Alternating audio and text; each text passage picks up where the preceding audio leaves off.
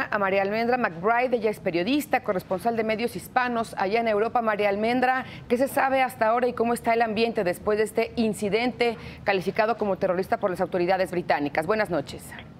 Gracias, eh, buenos días.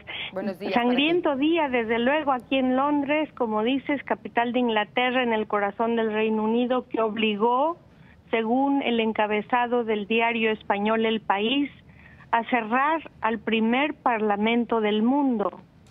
Todo inició a los 20 minutos para las 3 de la tarde, hora local, cuando del lado sur del puente de Westminster un vehículo tipo SUV 4x4 color negro marca Hyundai se subió al pavimento y zigzagueando embistió a civil tras civil como transeúntes que caminaban, deambulaban, algunos turistas tomando fotografías en el puente del Palacio de Westminster y otro, un grupo de 90 estudiantes franceses, varios de los cuales fueron heridos. El Palacio de Westminster se encuentra al otro costado del puente y este vehículo a gran velocidad acabó estrellándose contra la reja del Parlamento justo debajo de lo que conocemos como la torre que adorna el conocido y admirado reloj que lleva el nombre de su campana principal o Big Ben.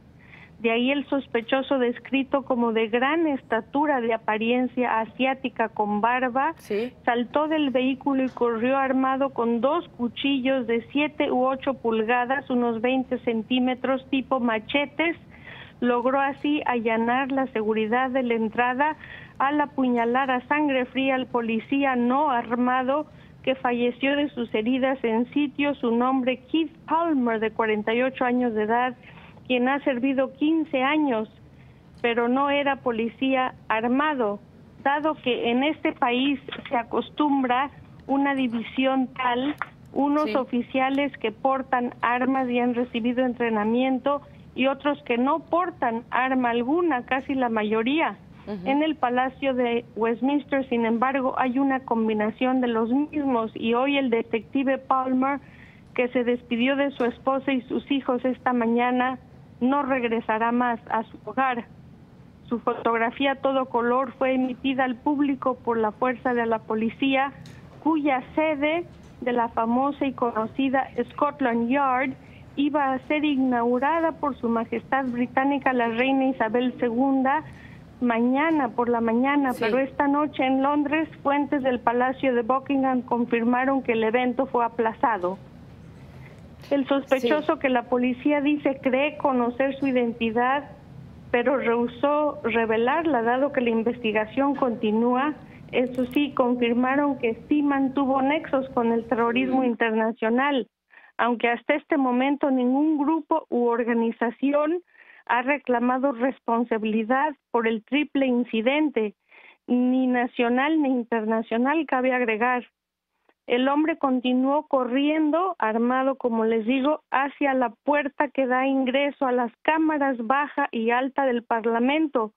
Policías, sí armados, le gritaron, dándole advertencias que le dispararían, pero él las ignoró y continuó corriendo. Ellos procedieron a dispararle y ahí murió en sitio.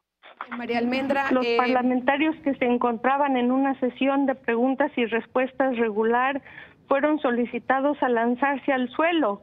Algunos de ellos en pánico se arrastraron por el suelo en el pandemonio, aunque muchos otros dicen que hubo mucha calma. La primer ministra británico conservadora Theresa May fue rescatada y transportada en vehículo plateado seguido de un vehículo blindado sana y salva a su cercana residencia oficial de Downing Street, el número 10 de la calle de Downing, en la avenida de Whitehall.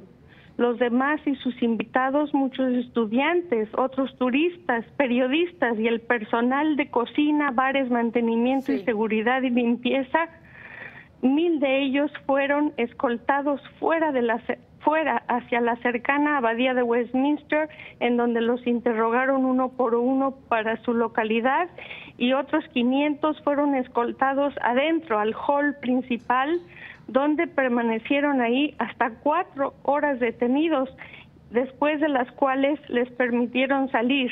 La razón es que la policía quiso asegurarse que no hubiera otro sospechoso en el interior de Westminster, dado que algunos hablaban de un hombre blanco con dos pistolas aparte del sospechoso ya mencionado. Bien, María Almendra, pues eh, vaya que fue un incidente que sembró el pánico hoy en el centro, en el corazón de Londres.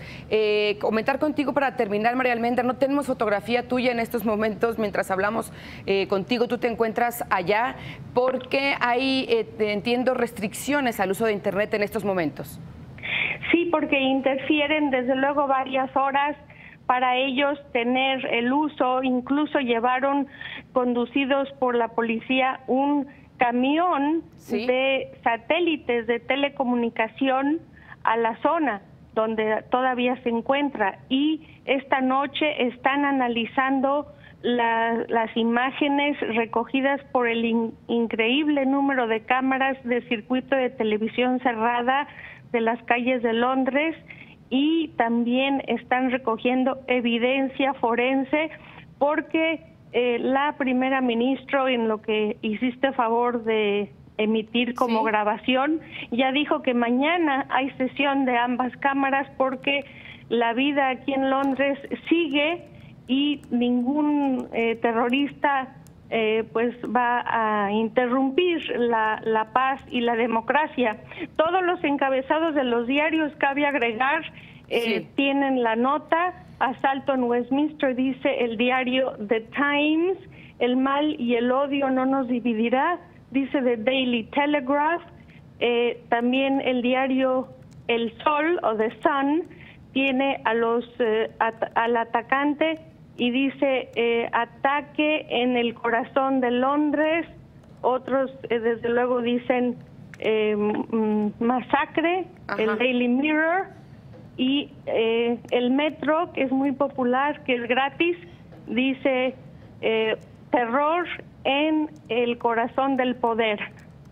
Bien, María, María Almendra McBride, periodista allá en Londres, corresponsal de varios medios hispanos allá en Europa. Te agradecemos de verdad muchísimo este reporte que nos da sobre esto que ocurrió este, este día allá en Londres. Gracias y buenas noches y buenos días para ti. Estoy a sus órdenes, siempre muy amable, cordiales saludos y gracias por la oportunidad. Muchas gracias, María Almendra. Hasta luego. Bueno, ahí está todo.